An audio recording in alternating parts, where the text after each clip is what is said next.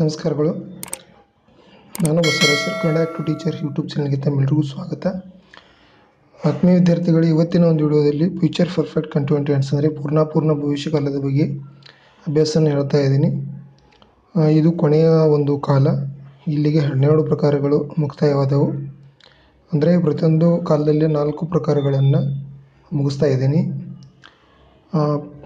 Future perfect ಕಂಟೆಂಟೆನ್ಸ್ ಪೂರ್ಣಪೂರ್ಣ ಭವಿಷ್ಯ ಪೂರ್ಣ ಭವಿಷ್ಯಕಾಲದಲ್ಲಿಯ ಅಫರ್ಮೇಟಿವ್ ನೆಗೆಟಿವ್ ಮತ್ತು ಇಂಟ್ರಾಗೇಟಿವ್ ಶ, ವಾಕ್ಯಗಳನ್ನು ರಚನೆ ಮಾಡಬೇಕಾದ್ರೆ ಯಾವೆಲ್ಲ ನಿಯಮಗಳನ್ನು ಉಪಯೋಗ ಮಾಡ್ತಾರೆ ಅನ್ನೋದನ್ನು ಸ್ವಲ್ಪದರಲ್ಲಿ ಬರೆಸಿಕೊಡ್ತಾ ಇದ್ದೀನಿ. ತಾವು ಗಮನಿಸ್ತಾ ಇದ್ದೀರಾ?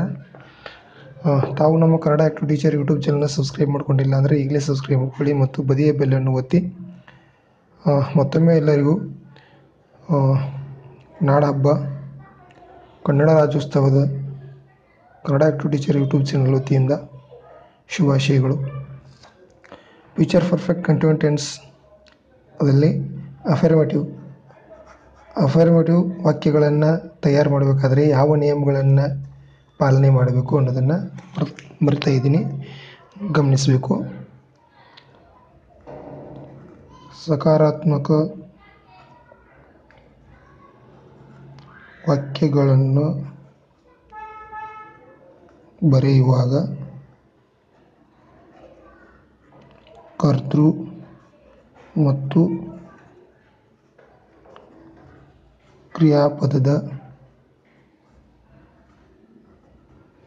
ನಡುವೆ ಶಾಲ್ ಹ್ಯಾವ್ ಬೀನ್ ಕ್ರಿಯಾಪದ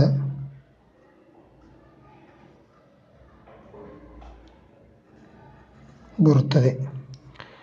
ಮತ್ತು ಮೂಲ ಕ್ರಿಯಾಪದಕ್ಕೆ ಐ ಪ್ರತ್ಯಯ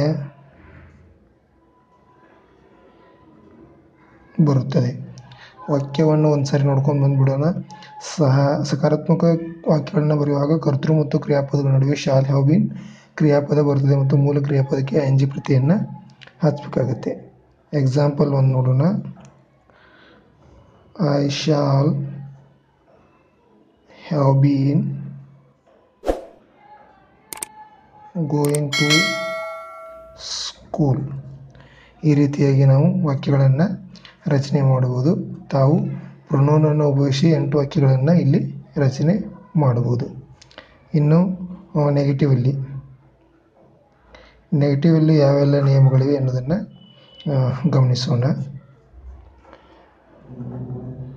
ನಕಾರಾತ್ಮಕ ವಾಕ್ಯಗಳನ್ನು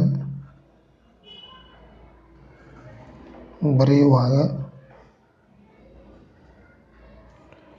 ಕರ್ತೃ ಮತ್ತು ಕ್ರಿಯಾಪದದ ನಡುವೆ ಶ್ಯಾಲ್ ಹ್ಯಾವ್ ನಾಟ್ been ಸಹಾಯಕ ಕ್ರಿಯಾಪದ ಬರುತ್ತದೆ ಮತ್ತು ಮೂಲ ಕ್ರಿಯಾಪದಕ್ಕೆ ಐ ಎನ್ ಜಿ ಪ್ರತ್ಯಯ ಹಚ್ಚಬೇಕು. ಒಂದೊಂದು ಸರಿ ವಾಕ್ಯವನ್ನು ನೋಡ್ಕೊಂಡು ಬಂದ್ಬಿಡೋಣ.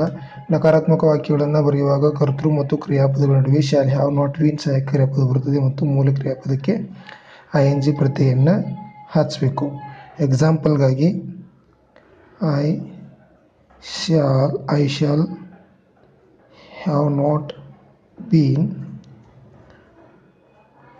going to school ಈ ರೀತಿಯಾಗಿ. ತಾವು ಪ್ರೊನೌನನ್ನು ಉಪಯೋಗ ಮಾಡಿಕೊಂಡು ಎಂಟು ವಾಕ್ಯಗಳನ್ನು ರಚನೆ ಮಾಡಿಕೊಳ್ಳಿ. ಇನ್ನು ಇಂಟ್ರಾಗೇಟಿವ್ಲಿ. ಇಂಟ್ರಾಗೇಟಿವಲ್ಲಿ ಯಾವೆಲ್ಲ ನಿಯಮಗಳಿವೆ ಅನ್ನೋದನ್ನು ನೋಡೋಣ. ಪ್ರಶ್ನಾರ್ಥಕ, ಇಂಟ್ರಾಗೇಟಿವ್ ಅಂದರೆ ಪ್ರಶ್ನಾರ್ಥಕ. ವಾಕ್ಯಗಳನ್ನು ಬರೆಯುವಾಗ ಕರ್ತೃ ಪದದ ಮೊದಲು